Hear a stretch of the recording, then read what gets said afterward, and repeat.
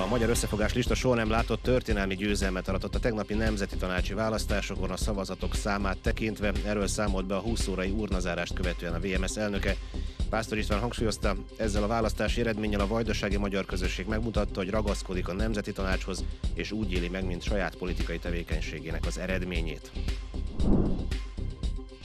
Szerbiában számos nemzeti közösség választotta meg tegnap saját kisebbségi önkormányzatát, összesen 23 nemzeti tanács összetételőről döntöttek, 19 nemzeti közösség esetében közvetlenül a listákra leadott szavazatokkal, míg négyet közvetetten elektorok útján választottak meg.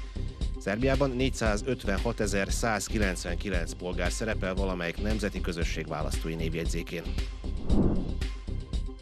A Palicsi állatkertbe szállítanák a már napok óta emlegetett rejtélyes fekete nagy macskát, amelyet Apatin környékén véltek látni többen is a Junákovi gyógyfürdőnél.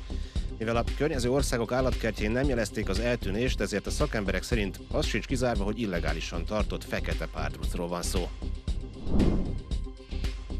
Új minisztérium alakul Palkovics László lemondása után jelentette be Gulyás Gergely. A magyar miniszterelnökséget vezető miniszter hozzátette, strukturális változtatást hajtanak végre. Önálló energetikai minisztérium alakul. Feladata az energiapolitika egységes irányítása lesz, ezért az energiahivatal hatásköreinek többségét az új tárca veszi át. A minisztériumot Lantos Csaba fogja vezetni, aki december 1-től vállalja a feladatot. Jól termett ebben az évben a Naspolya horgos határában, ennek a gyümölcsnek kedvezett az idő, és nem csak mennyiségileg, hanem minőségi szempontból is. Egyébként a naspolya akkor a legfinomabb, ha puha és már sötét barna színű.